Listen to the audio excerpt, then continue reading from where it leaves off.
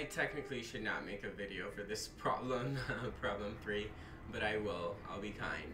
Um, if I were your teacher, I'd just require that you remember that the derivative of uh, secant x, um, that is d dx secant x, is equal to sec x, ooh, sorry, sec x tan x.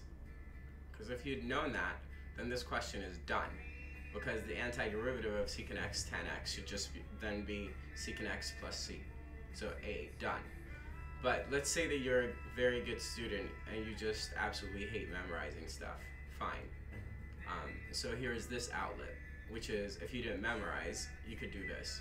Which is you could view this integral as since secant is 1 over cosine x, hopefully you remembered that, you could write 1 over cosine x in place of secant. And then hopefully you also remember that tangent is sine x over cosine x. These are definitions that you have to have memorized at some point, so you should know these. Um, okay, great. And so then you'd immediately see that this integral is the integral of sine x over cosine squared x. And you should immediately see this as easily lending itself to be, uh, to be solved using u substitution. And so here, um, since we see a function in the bottom, which is our often our candidate for our u, and we see a function in a composition, which is x squared composed of cosine x, we see that cos x is a good candidate for u. So then du will have to be negative sine x dx. And so then du over negative sine x will be dx, solving for dx, because we know we need to substitute for dx, not just for cosine x with our u.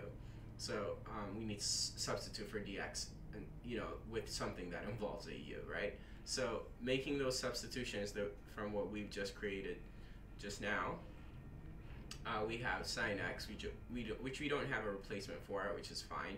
And then cosine squared x becomes u squared because we've called cosine x u, okay? And then dx, we, which we just solved for, is right there, which is du over sine x, well actually du over negative sine x, okay?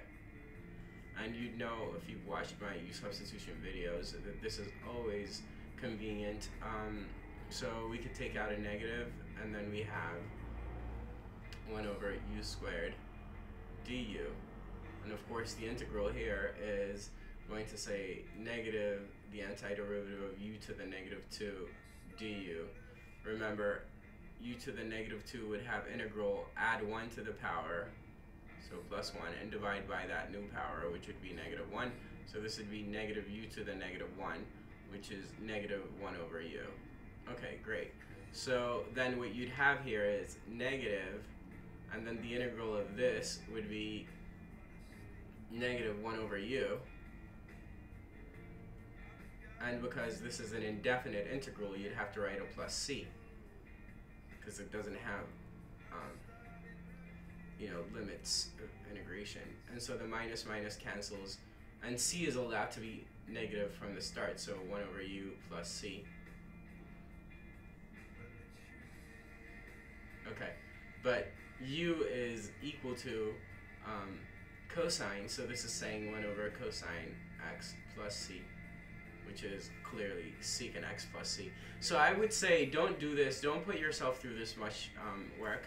Just remember the derivative of secant x is secant x tan x, and then you'll know the antiderivative, right? Of secant x tan x, that is. Okay, cool. The antiderivative of secant x is actually like some a clever matter, and you should not know that if you're in AB calculus. You'll learn the antiderivative of, of secant um, x um, in um, BC, and if you're dying in curiosity, it's the natural log of secant x plus tan x.